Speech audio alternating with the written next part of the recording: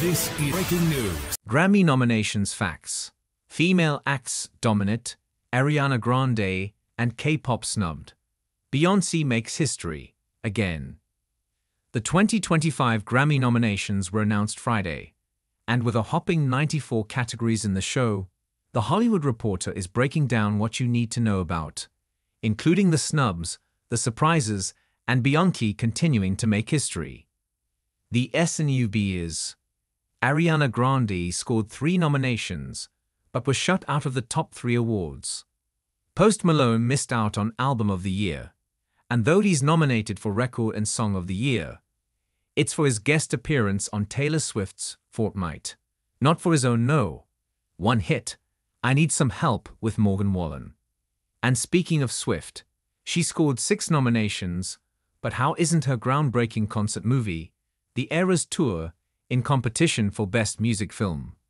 And Fortnight didn't make the cut for Best Pop Duo slash Group Performance. Instead, Swift is nominated there for her featured appearance on Gracie Abrams' Us. Hozier returned to the top of the pop charts with Too Sweet. Tommy Richman dominated TikTok with Million Dollar Baby, and Vampire Weekend impressed critics with Only God Was Above Us. But they were completely ignored with zero nominations. Bad Bunny, Nicki Minaj, Megan Thee Stallion, and K-pop acts like Lisa, RM, and Jungkook were also shut out.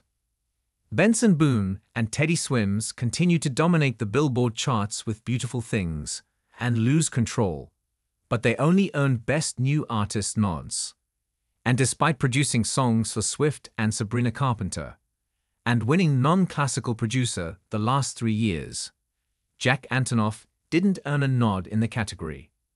Winning Women Months after female acts won all televised awards at the 2024 Grammys, women dominate in major categories for next year as well.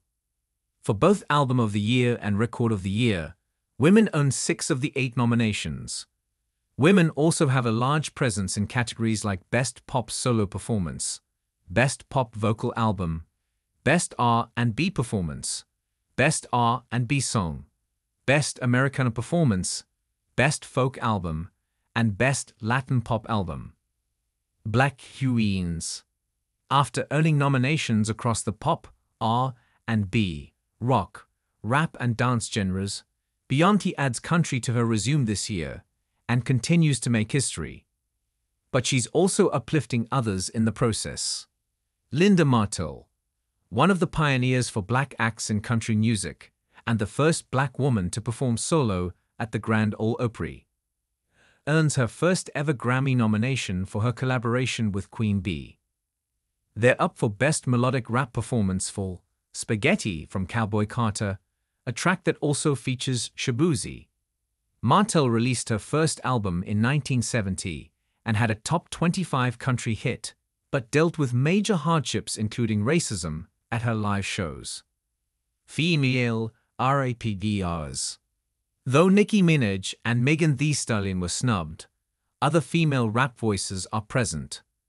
Doechii scored three nominations, including Best New Artist, Best Rap Album for Alligator Bites Never Heal, and Best Rap Performance for Nissan Altima. Glorilla's Yeah Glo and Cardi B's Enough Miami are also in the latter category. Latto and Rapsody are up for Best Melodic Rap Performance, while Glorilla and Rapsody will compete for Best Rap Song. Grand Grammy STARBOA.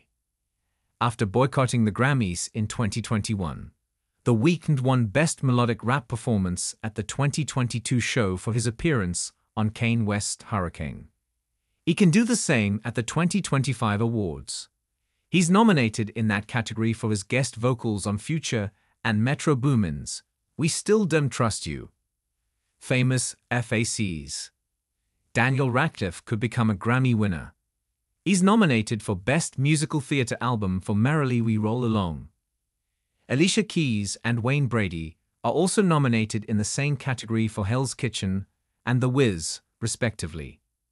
Nikki Glaser continues world domination with a nomination for Best Comedy Album, pitting her against five-time Grammy winner Dave Chappelle, Trevor Noah, Ricky Gervais, and Jim Gaffigan.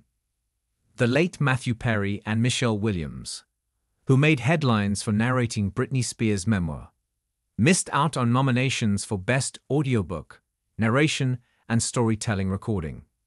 Instead, the nominees are Jimmy Carter, Barbra Streisand, Dolly Parton, and George Clinton. Sing It L.I.V.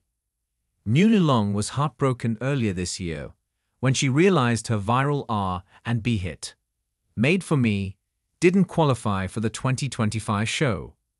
But she submitted a live version of the song from her BT Awards performance, and she's now in contention. It's nominated for Best R&B Performance. She's also up for Best R&B Album, Revenge, Best R&B Song, Ruined Me, and Best Traditional R&B Performance, Make Me Forget. OutKast's Andre 3000's Flute album has made a splash at the Grammys. It's nominated for Album of the Year. Andre, along with Big Boi, previously won the top prize for Speakerboxxx slash The Love Below in 2001. It is one of only two rap-based albums to win in the category. Andre's Knee